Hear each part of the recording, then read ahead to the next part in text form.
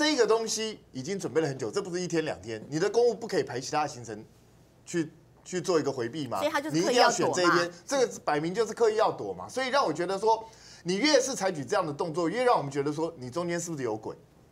那你找一个副秘书长出来，然后也只是自私的这样照本宣科这样答询一下，对我们人民真正想要知道的是你到底告诉我们没有？其实关于私烟案疑点非常非常多，因为之前总统府告诉我们说完全没有人涉案，可是现在我们看到的是什么？现在是连总统的御厨都有买烟，嗯，那专机的厨师也有买烟，总统自己的贴身随扈也有买烟，总统府里头不知道多少人买了这个烟，那你怎么会告诉我们总统府没有人牵涉到这个案子？这本身就是一个非常严重的问题，总统府说谎。嗯，这是总统府说谎的事情呢。那总统府说谎，没有人要出来负责吗？只派一个副秘书长出来讲个两句就算了吗？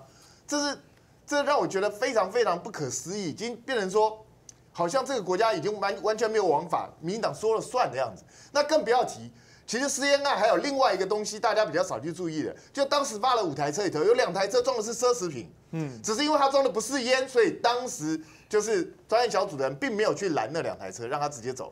那请问一下，那两台车里头装了什么？到现在给我们答案了吗？而且今天在报告的时候说，在机上还有一百三十八条烟，查到现在还不知道买主是谁啊？所以你觉得这不会太不可思议了吗？今天你说那个吴宗宪他是负责买烟的人，他要买烟的时候，不管这个人是用代号还是用人头，他总知道这个烟要给谁吧？不然他怎么去跟人跟人家收钱？最大的政治责任哦，就是像一二四一样嘛，一二四吴英玲呢，就是一直不到这个议会去备询嘛，最后的政治责任就是整个九合一选举全面就是大败嘛。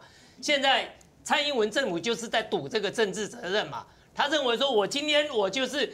该总统府秘书长负责，我就是不愿意出面备询哦，那没关系嘛，让全国老百姓来给我打分数，来给我做这个看怎么样政治责任啊？民进党我该我蔡英文政府我该负什么样的政治责任？让老百姓来评估嘛啊！我就是走私香烟，我就是这个我的总统专机就是载的烟嘛，要不然你咬我嘛，你咬我啊，对不对？总统我在当啊，那现在你老百姓你烟捐，你应该要捐的嘛，你不捐你没有烟捐，这个是我们那个政府哪来的税捐呢？对不对？那你私这些老百姓，你在抽烟，当然就要涨价。那你其他有关系的人不能够用那么贵的烟呐，抽不起呀。那当然就是必须用这个总统专机嘛，对不对？那你到底你陈局到底要不要去备询？他我不去就不去呀，对不对？当时是怎么样护吴英玲的？